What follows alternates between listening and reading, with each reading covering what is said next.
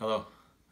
I'm going to show you, uh, I've combined two tricks, one of Paul Harris and one of my friend Bill Goodwin, and um, I will perform the effect and then I'll explain it, okay?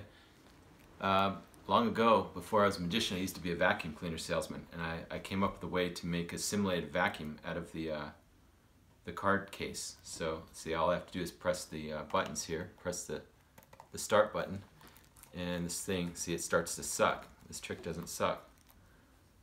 Watch. It actually sticks. And you can see that it's all the way stuck, the card case to the, to the box, impossibly, okay?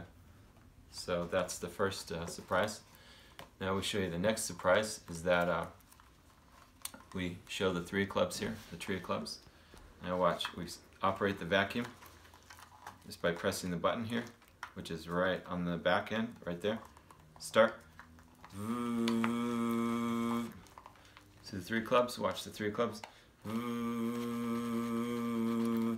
it really sucks the pip right into the box because inside the box well, it looks like it got stuck somewhere in the vacuum cleaner.